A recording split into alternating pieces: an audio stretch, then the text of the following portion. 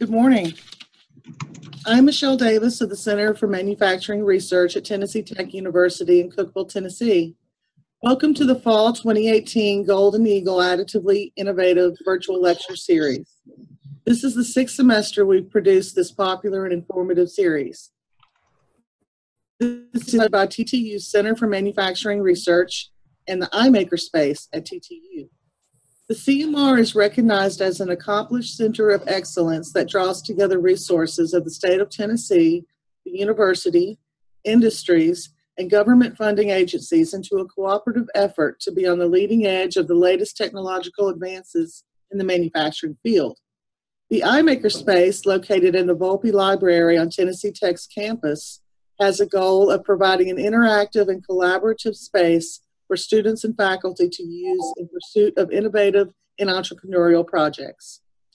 Additive manufacturing is a focus of both entities, and as such, this short virtual lecture series has been planned to highlight the best practices, potential problems, technological advances, innovations, and scientific contributions in the additive manufacturing field with expert talks from various institutions, industries, R&D centers, and laboratories.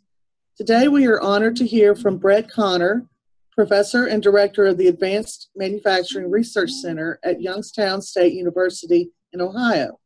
His talk is titled, Where's My Spare Part? Changing Maintenance, Repair, and Overhaul Through Additive Manufacturing. We request that you mute your microphones and phones during this presentation for the most optimal experience, and the speaker will provide his contact information for questions after the presentation is over. Thank you, and now I turn the presentation over to Brett. Great, thank you, Michelle, and I appreciate this invitation. Hope everyone's hearing me okay. Um, we're here at uh, Youngstown State University in Youngstown, Ohio.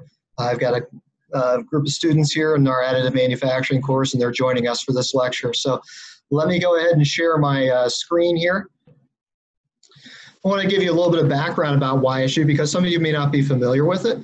Um, we uh, we operate. Uh, we're in we're kind of in a, a, sweet spot, if you will, for additive manufacturing here.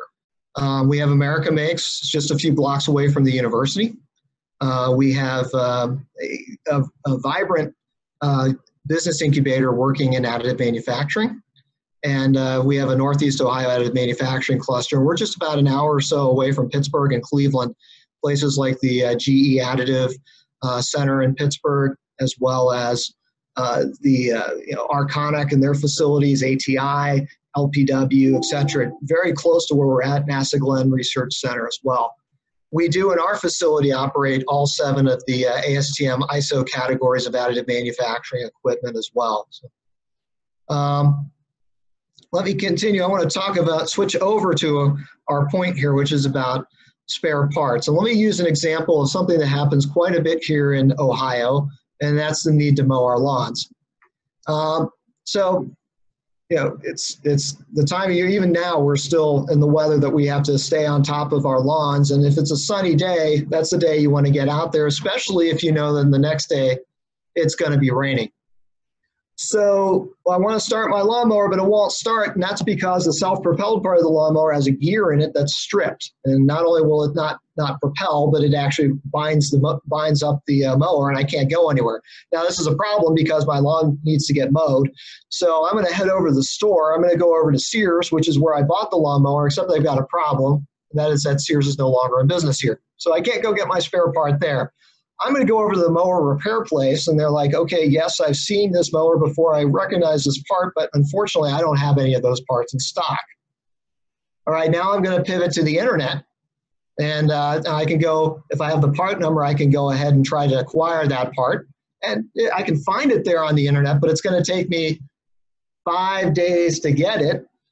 And of course, now I've got the problem that my grass has now completely overtaken my yard. And uh, um, I've got a problem. And this is this is the spare parts problem in a nutshell.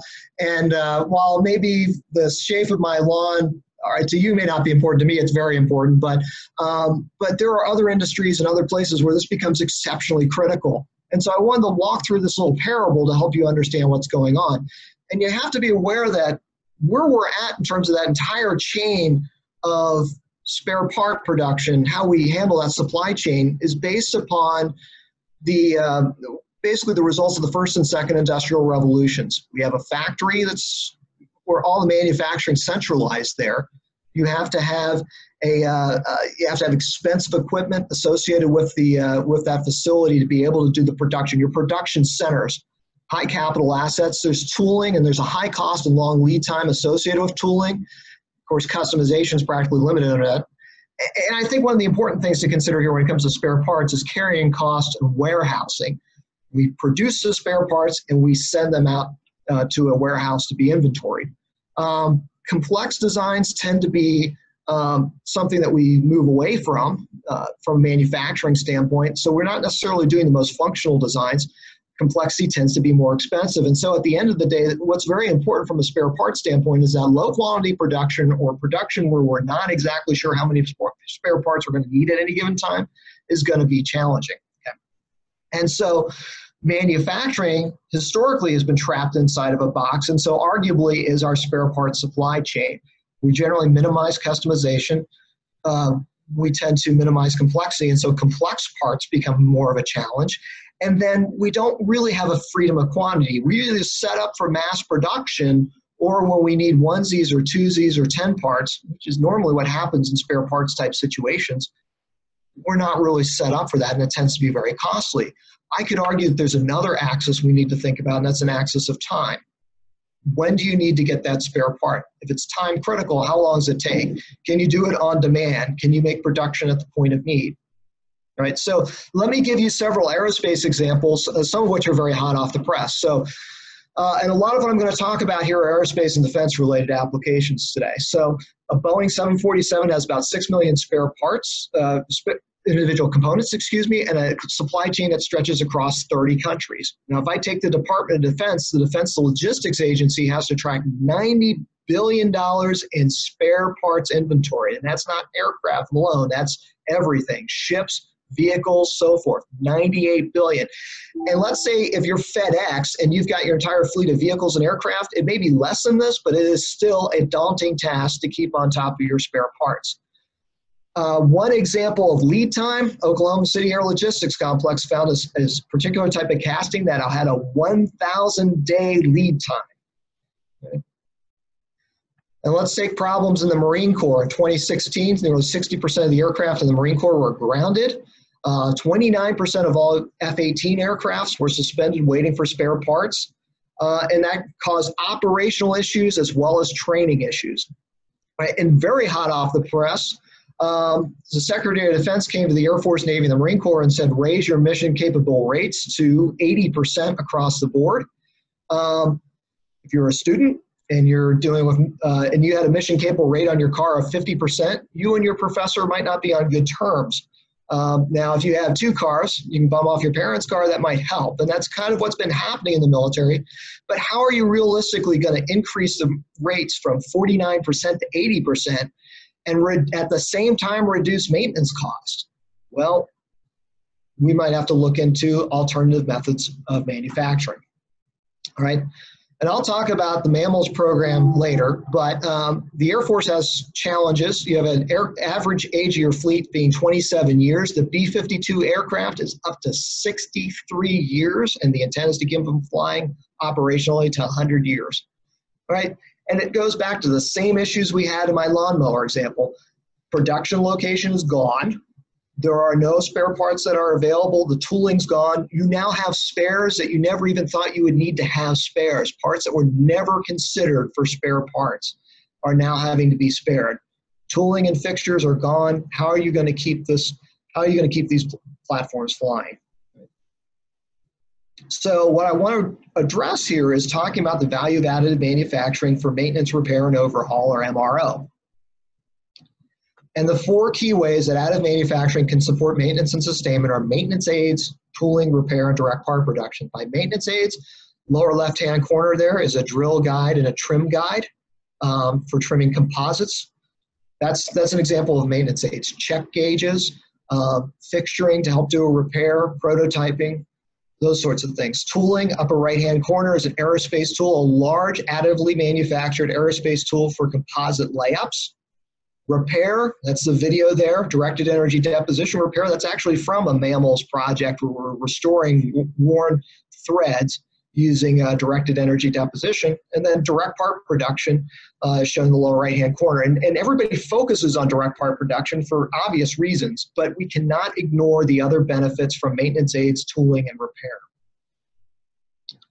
value of replacement parts. So, looking at some previous publication that we did on generally making sense of 3D printing, really the attributes that most relevant for replacement parts, low quantity and uncertain demand, is actually a great thing for additive manufacturing. High degree of complexity, geometric complexity, assembly complexity. If you can adjust designs from uh, of legacy parts, then you can leverage additive manufacturing uh, and then high degree of customization. Generally, with spare parts at the moment, we don't have a customization issue. But because of additive manufacturing and the potential to make things that are, say, wearable, conforming to human anatomy, then we do need to start thinking about how are we going to handle spare parts that are customized. Of course, other values from additive manufacturing, on demand printing, print, in our case in aerospace, right at the flight line, uh, and then reduction in inventory. So we're going to talk about all of those here today. Uh, let's not forget, though, that there are certain technical challenges as well, especially in the area of qualification and certification. All right. Um, so this is more of the classic diagram uh, going back to Hopkinson Dickens paper in, 20, in uh, 2003. But comparing, let's take a lever here. We want to be able to compare two different manufacturing methods, conventional injection molding and laser sintering. Now, if I am way off to the right in terms of my quantities, then the low cost approach to make these parts is injection molding. But if I need less than where that arrow is, less than the break even point, then in that case, additive manufacturing makes more sense. We kind of know this. We kind of know about this cost advantage that's associated with it. With the injection molding process, we need to invest in tooling, and you have to amortize that tooling across parts. So if you only have 10 parts or 100 parts, if you don't know how many parts you need because you don't know where that airplane's going to be retired next year or 20 years from now, well, you know, this is where additive manufacturing comes into play. But this isn't something that's fixed. Uh, it does depend on things. So I want to talk about quantity and complexity here. So what we're talking about is geometric complexity, right? Not every part has the same geometric complexity. A cube is obviously very simple. A cylinder is simple. Most real parts can be more complex, very much more complex. And when we're talking about castings, castings can be, that's one of the reasons why we do castings, is to have highly complex uh, geometries. Um, so what we did is we looked at a model in the literature for uh, quantifying complexity of castings, and we're looking at creating molds and cores associated with sand, sand casting using conventional means, which are the dotted lines, and uh, uh, additive manufacturing, which is a solid line there. What we're showing with the dots are break-even points. So we're comparing the cost of set of a set of molds and cores versus complexity, geometric complexity. The break-even level when it comes to complexity decreases as the quantity decreases. Um, in other words, the fewer parts that you need, the less complex they have to be for additive manufacturing to be cost effective. Alternatively, at high complexities, very high complexities, it really doesn't matter the quantity of parts, whether it's 10, 100, 1,000 or more, additive manufacturing is going to be the only cost effective way to produce those parts. And in this case here, we're talking about cores and we have the opportunity to core consolidation and eliminate core breakage, reduce flash and so forth. So there's a variety of economic benefits that exist when we get to higher levels of use of uh, higher complexity levels. Um, one other note I want to make on that is that we recently published something in solid freeform fabrication proceedings from the summer on uh, a more generalized approach to quantifying complexity. Um, and uh, that could be used not just for castings, but uh, casting type parts, but for any type of additively produced part, including lattices. Okay. So um, now let's talk about spare parts inventory. Uh, virtual inventory is a means that additive manufacturing is appealing because instead of having rows and rows of spare parts that you need, where you could end up with inventory obsolescence, uh, or, and you're balancing that versus stock out risk over many years of a system operating. Um, we can reduce lead time. We can reduce the holding costs associated with warehousing using uh, additive manufacturing. Um, Generally, additive manufacturing reduces the stock out risk of spare parts. However, uh, let's we're going to talk about this a little bit more. But we do have conflicting incentives there. Okay, so basically, what I'm talking about is this analysis that we did a few years back, where we basically took an inventory and we used what's called an S1, S minus one S control policy, which is basically a, a part leaves the inventory and therefore we order a part to put back into the inventory. Okay. And in general, when you reduce the lead time it takes to get the part back from the to get the part produced, which we can do with additive manufacturing, in general, that reduces the risk of running out of parts. However, if you're trying to balance reducing the number of parts in inventory, uh, reducing your holding costs, or reducing just the sheer number of parts and places that you have to store parts, you can get these in, kind of this perverse incentive that could lead to increasing the risk of running out of parts. Now, in some cases, if you can withstand waiting a few days to get your part or even a week or so, that's fine. But there's a lot of applications where you need a critical off the shelf part where now you can reduce the inventory of those parts, but you have to be careful not to reduce it too much and then end up with a, a stock out. Okay.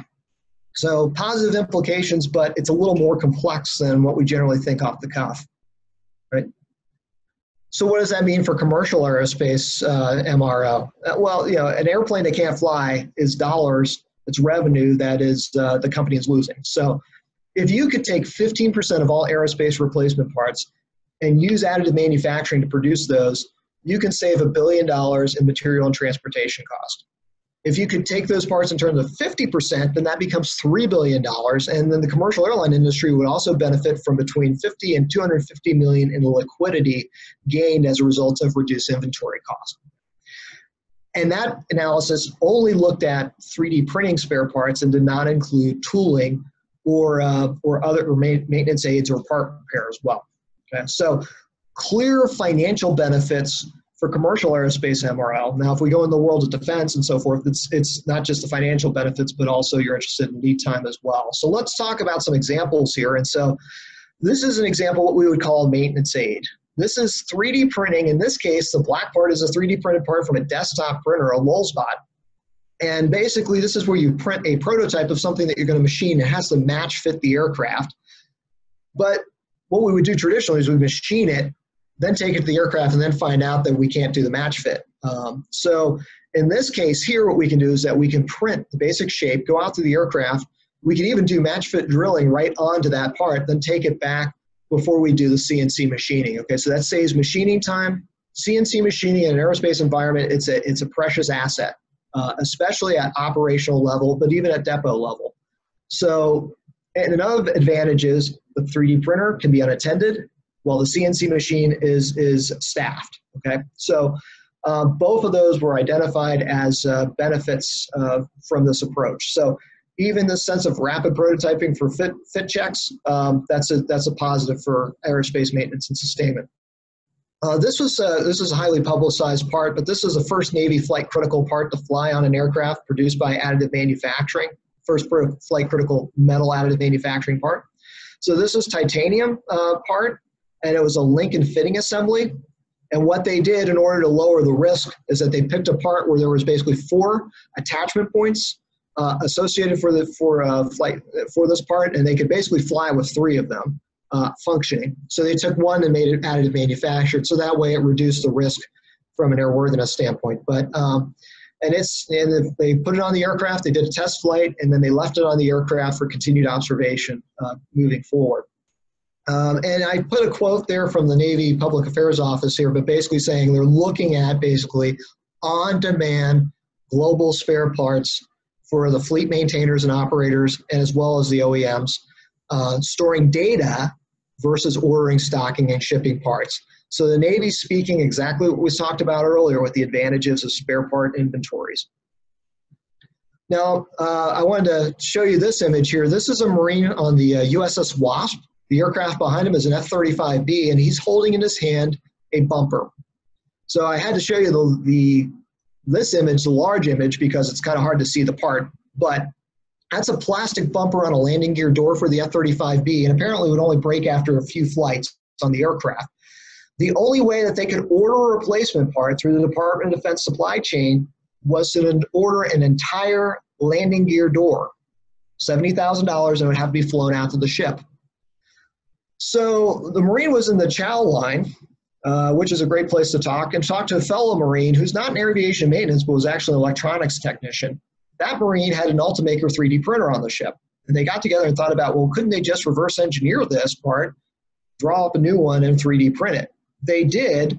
They worked with the Marine Corps additive manufacturing team and Naval Air Systems Command, NAVAIR, approved it for flight worthiness, and now they were able to do these very low cost, on demand 3D printed parts to keep aircraft flying without having to waste tens of thousands, probably millions of dollars in the long term. Um, so, you know, again, that's that's just desktop printing there, but providing a flight flight uh, uh, flight worthy solution for an aircraft. Now, I want to talk, the remainder of my time, I'll talk about the maturation of advanced manufacturing for low cost sustainment program or MAMMALS program. Um, I'm going to play a video here, hopefully, if everything works. All right.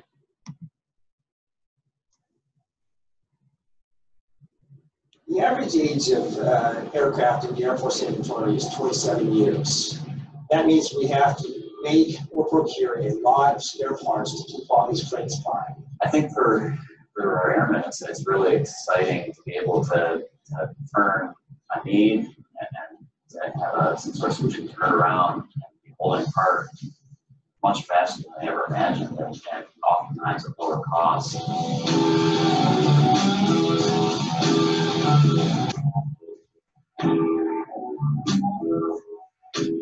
So the MAMMALS program, it originated from the fact that there's statement settings, a lot of parts that we have trouble sourcing, a lot of uh, parts that need replacing. Suppliers may or may not be there anymore. So we're really trying to deliver some solutions and uh, knowledge base for those personnel to be able to make those parts themselves or be able to source it from a transit supply chain, get those parts quickly and affordably where they're really challenged to do that right now. The first phase was really to get to know all the operational needs. We were sending people to the logistics centers to try and understand where all the sustainment were and what the highest priorities. So within the phase one, we had a lot of teams, a lot of projects, about 26, 27, 28 different technology projects, and they're still ongoing. From there, the second year of funding came in, and we said we really need to attack the airworthiness statutes, and we need to do it for families of parts. So we started down the efforts for bell cranks, oil coolers, bearings, and expanded these teams. So uh, phase three is in two parts. One of it is rapid transition. The project's already being worked in phase one. We can cover a myriad of technologies. We have scanning uh, using the Creaform HandySCAN 700. We use fused deposition modeling on many different machines. Powder bed fusion, direct metal laser sintering, uh, laser engineered uh, systems lens processes. We have a lot of technologies underneath this program. It's really enabled us to uh, meet the specific needs of the partners that we work. We've got the you know, C-130s here at YARS, which has been an excellent platform for us to learn about their needs. Uh, but we've also had F-16 opportunities at Hill Air Force Base doing repair operations both on their tails and other parts. Uh, we've had um, components at uh, Robins Air Force Base for the C-5 to do, demonstrate uh, rapid tooling uh, for them. But many parts, many systems, and it's just fun to watch.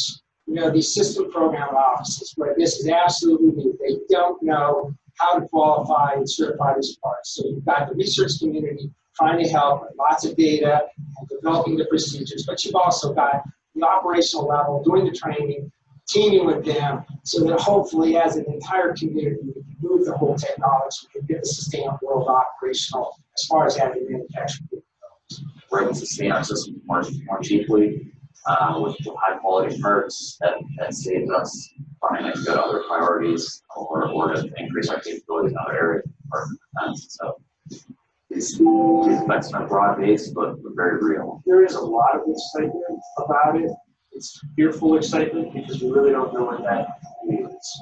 I'm hoping that in the next year, that if we can start to qualify a part on the 130, that we can do that once it's printed, say, here, put this in, that that will actually start to change hearts and minds. It's enabling our fighters to stay on mission. They've got the equipment that they need to protect us protect themselves while they're doing it.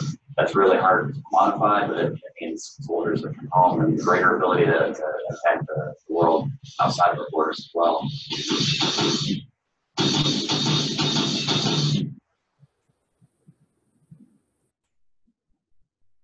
All right, so um, so this is America Makes project in partnership with AFRL. And anytime you're doing this sort of technical activity where you're going from lab to fly line, it becomes a large team with with uh, multiple companies and uh, organizations that are involved with it, um, both on the civilian side as well as on the military side as well. So quite a bit of diversity that exists uh, um, that exists in this particular type of project. And as uh, uh, Marvin mentioned here, um, it's a three multi-phase project. Phase one is basically low-hanging fruit, largely tooling driven.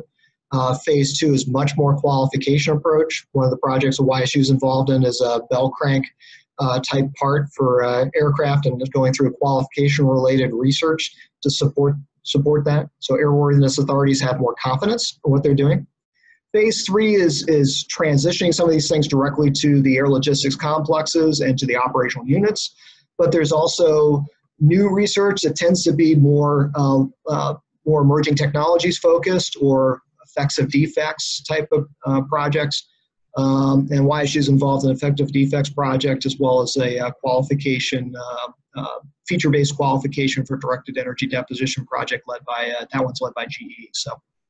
Um, some success stories, uh, some of which is bringing additive manufacturing to flight lines. I kind of already talked about this with the part that I said earlier that was a uh, drill guide, but even again, just using hand uh, scanning that can be taken out to the aircraft, as well as uh, even just desktop printing for flight, flight line maintenance aids.